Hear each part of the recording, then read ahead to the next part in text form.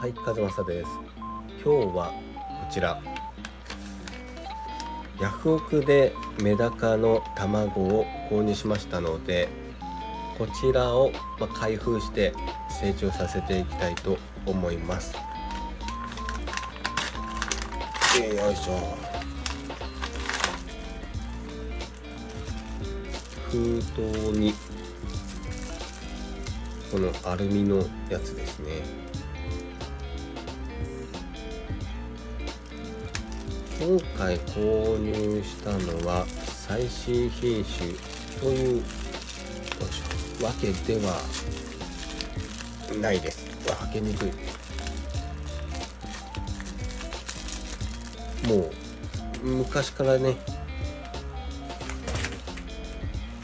いるような品種となっています。それがこちら。昔からいるのかな？小野皇帝ですね。皇帝よりも赤いと言われている小野皇帝。こちらをね成長させてその赤みをね見ていきたいなと思っております。よいしょ。でやはりねこまこう最初に怖いのは卵の状態なんですよね。なのでまずはね卵の状態を見ていきたいなと思います。まあ一瞬見えたけど大丈夫そうな状態でしたね。それでは見ていきたいと思います。はい。卵の状態としてはあら？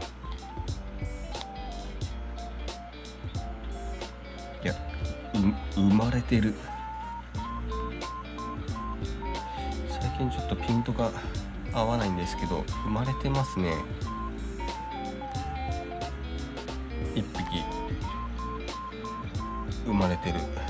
久しぶりだ。生まれて到着したのは。卵の状態はまあ芽が出ている。いますね。これは。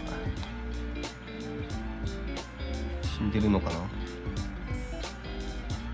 あ芽が出ている状態で届きました。芽が届いてる以上に生まれてましたけど、まあ、こんな感じですね。これをね成長させていきたいと思います。1匹生まれてた。はい。というわけであれから何ヶ月経ったかな？2ヶ月3ヶ月経ったと思います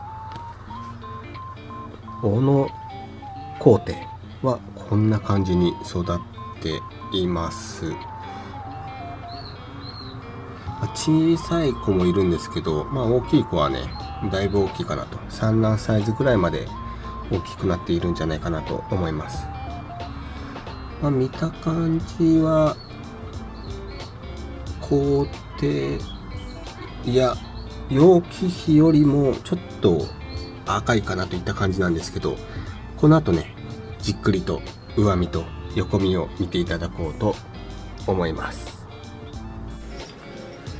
はいまずは横見ですね横見で見る限り、まあ、オスメスはしっかりいますね色的に言うとまあ左上の子が一番まあ大きくなればねこれ赤くなる可能もう少し赤っぽさが出てくる可能性はありますね一番大きい子が一番赤いのでまあ、これから色が仕上がるかなと。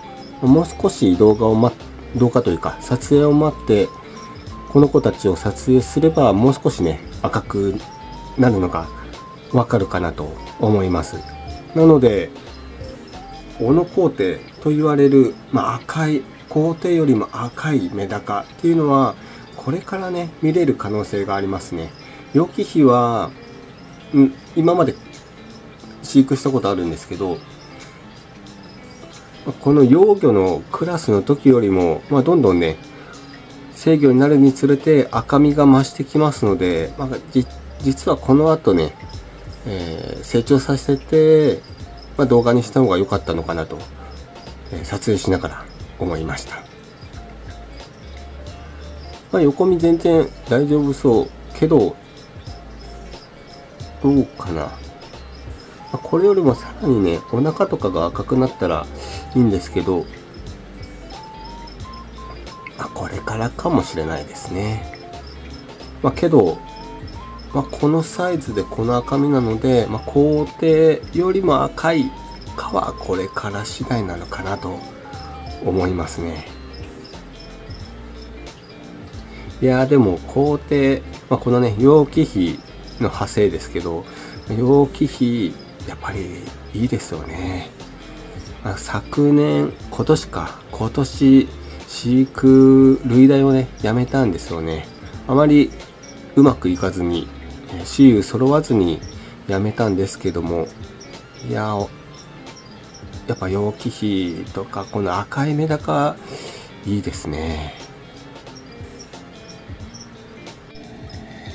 はい、こちらが上身です。こうやって見ると、赤いですよね。赤さが伝わるかなと思います。まあ、メダカはね、まあ、赤じゃなくて、まあ、紅の方だと、えー、言われる方が多いと思うんですけど、まあ、本当ね、赤に近い色合いしています。動画でも伝わってるんじゃないかなと思います。やはりね、容器比以上、工程、まあ、工程はね、飼育したことないんであれなんですけど、まあ、容器比以上、だいぶ赤いかなと思います。特にね、成長が早い子は赤みが増していますね。なので、これからね、もっと赤みが増してくるのかなと思います。この子たちは非常に面白いので、類題をね、していこうかなと思います。ビオトープ用に購入した卵ですけど、この子たちはちょっとね、増やして、ビオトープにも放ちつつ、類題をね、楽しんでいこうかなと思います。いや、面白い。またね、この子たちの成長をね、えー、動画にしていきたいと思いますので、気になる方は是非チャンネル登録してお待ちいただけると嬉しいです。はい。今回の動画が少しでもいいなと思われた方、是非チャンネル登録、そしてグッドボタンを押していただけると嬉しいです。それでは、ご視聴ありがとうございました。